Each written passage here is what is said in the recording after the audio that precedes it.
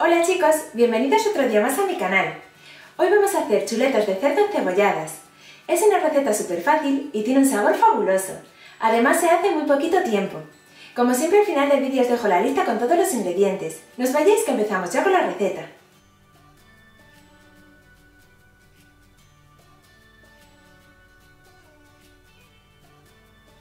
Lo primero que haremos será salpimentar las chuletas de cerdo por los dos lados. Para esta ocasión estoy utilizando chuletas de lomo, pero esta receta también se puede hacer con chuletas de aguja o incluso con otro tipo de carne. Cuando estén salpimentadas vamos a preparar el rebozado. Para ello echamos en un recipiente la harina junto con el ajo en polvo y el pimentón, dulce o picante, y mezclamos hasta que todo se integre muy bien. Una vez que tengamos la mezcla integrada, rebozamos las chuletas en ella. Presionamos ligeramente para que la harina se adhiera muy bien y queden completamente cubiertas. Con el rebozado conseguiremos que las chuletas queden más tiernas y absorban todo el sabor de la salsa. Ahora que ya tenemos las chuletas rebozadas, pasamos a freírlas. Echamos 4 cucharadas de aceite de oliva en una sartén amplia y calentamos a fuego entre medio y alto. Cuando alcance temperatura, freímos las chuletas en tandas de 2. Las vamos dando la vuelta a medida que el rebozado se ponga doradito.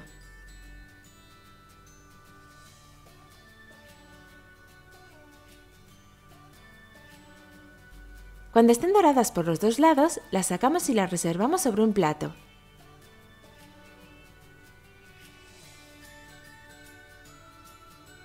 A continuación, en la misma sartén, para aprovechar el aceite y los jugos que han soltado las chuletas, echamos la cebolla cortada en juliana o en pluma y los dientes de ajo picados.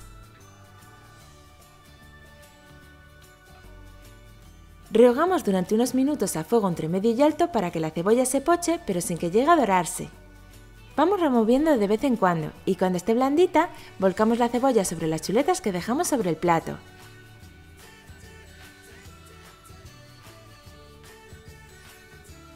Acto seguido devolvemos las chuletas con la cebolla a la sartén y acomodamos todo para que quede bien repartido. Ahora incorporamos el vino blanco, el caldo de pollo de carne y el perejil picado.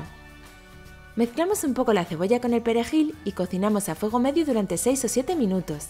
De forma opcional, podéis darles la vuelta a mitad de cocción. Pasado este tiempo retiramos la sartén y ya las tendremos listas para comer.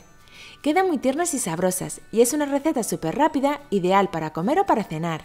Si te han gustado estas chuletas, dale a me gusta, déjame tu comentario y comparte en tus redes sociales porque así me ayudarás muchísimo a seguir haciendo más vídeos.